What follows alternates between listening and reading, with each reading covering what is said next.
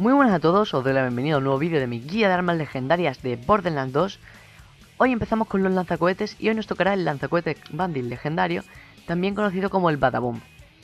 Eh, Lo primero que tenemos que hacer es ir al Arid Nexus Boneyard e ir de ahí al Iridium Blade ¿Para qué? Para estar muy cerca del punto ese que voy a marcar ahora mismo en el mapa Que es uno de los dos sitios en los que puede aparecer el jefe que nos suelta esta arma. Ahora aquí señalo la parte donde está... Eh, el viaje rápido de la Iridium Blade y tenéis que hacer ese recorrido que he hecho con el ratón para ir al segundo sitio. El segundo sitio no os lo recomiendo, yo recomiendo este, pero si lo queréis hacer por el segundo sitio, pues está bien. Hay un 33, creo que era, un 33% de probabilidad de que te salga en este sitio, otro 33 de que te salga en el otro, y otro 33 de que no te salga. Así que va a ser un poco más difícil que otros farmeos pero tampoco tan excesivo como otros que hemos hecho antes, como el de Capitán Flint. Ahí veis que lo mato y no me suelta nada, así que rápidamente eh, salgo de la partida y entro y pues estaré ahí al lado para volver a matarlo o para ver si ha aparecido, porque hay veces que no aparece o que aparece en el otro lado y no merece la pena. Aquí he avanzado hasta la parte en la que me lo suelta, creo que me lo soltaba corrosivo, pero no importa porque ya en la prueba de tiro lo, pondré yo con las prefix para que veáis cómo funciona de la, de la mejor manera posible. Aquí veis que lo mato y me lo suelta. Vamos a hacer este farmeo también en modo normal porque este arma también nos sirve para hacer saltos con cohete, como veis en todos los vídeos. Uso estos lanzamisiles porque son los que mejor vienen para esto. Así que también lo mato en modo normal y aquí me lo suelta en nivel bajo. Os dejaré en la descripción un, link a mi guía de saltos con cohetes si, si queréis echarle un vistazo. La verdad es que viene muy bien para todo, para hacer farmeos rápidos. Ahí veis que como tiene bajo nivel no me hace daño, así que puedo hacer los saltos con cohetes. Y con el escudo que tengo, pues como va absorbiendo los cohetes que voy lanzando, nunca se me gastan. Vamos con la prueba de tiro. Vamos a empezarla en modo normal con un Badaboom al nivel 50 lo he cogido de fuego y la prefix le he puesto esa porque no sé por qué es la que más estoy acostumbrado. Eh, le sube un poquito la cadencia y como tiene las partes, algunas partes bandit, eh, le da bastante cargador. Ahí veis que tiene 12 de cargador y puedo gastarlo tranquilamente.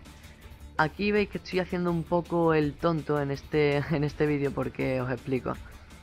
Eh, este vídeo lo grabé justamente después de hacer el farmeo del Northfleet, uno de los lanzamisiles que voy a hacer en esta guía. Y me llevó 4 horas y media hacer ese farmeo. Mm, vais a ver cuando llega el vídeo la dificultad de ese farmeo. Ahí veis que mira, me quedé dormido y todo. Y, casi me estrello contra la pared. Tengo que corregir en el último momento. Em, tardé muchísimo en hacer ese vídeo, pero quería acabar las pruebas de tiro antes de irme a dormir. Así que mm, estaré un poco dormido en la prueba de tiro de motor normal de casi todos los lanzamisiles pero aún así me salen bien. Si me salían mal las volví a repetir. Ahí veis que estoy haciendo ahora la guía, o sea, la guía, uy, la prueba de tiro en OP8. Está bastante bien este lanzamisiles porque al tener 6 misiles cada uno, o sea, en este, en este caso de fuego, pues me viene muy bien por, la bonificación de, de la reliquia mental de fuego que tengo. Ahí veis que también puedo usarlo como para hacer saltos con cohete, el otro que tiene menos nivel. Y este veis que no tarda demasiado en matarse a Malbuche. No es un lanzamisiles de los típicos que tiene un montón de daño y mata de un tiro. Pero como tiene muchas balas y como lanza muchos misiles, pues si tenéis un escudo de absorción, os va a venir muy bien para ir recuperando misiles. Eh, eso sí, recordad que si queréis hacer saltos de cohete o si queréis recuperar misiles, o tenéis mucha suerte o usáis uno de nivel bajo, porque si no puede que no lo absorba y os mate directamente no creo que os deje con poca vida.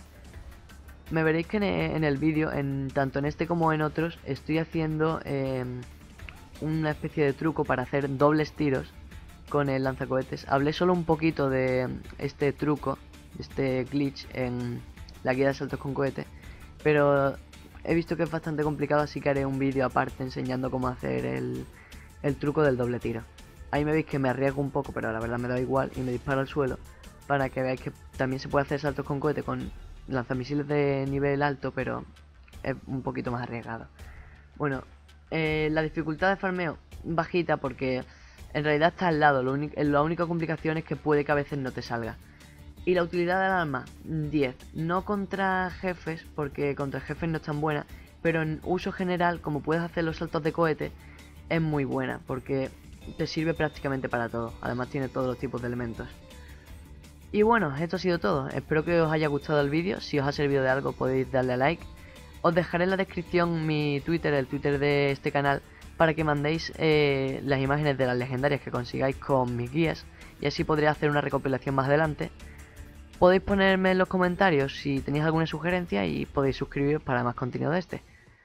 Hasta la próxima y ya sabéis, buen farmeo.